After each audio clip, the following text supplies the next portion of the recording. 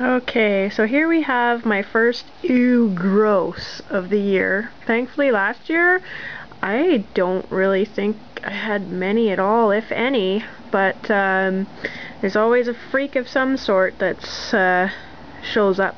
This is an, uh, one that was dead in the egg, and it's actually, I guess, two that was dead in the egg. It's a incomplete Siamese twin.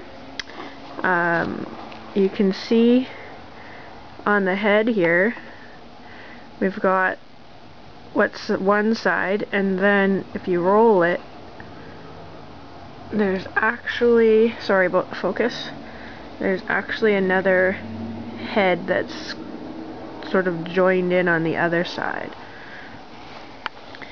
And then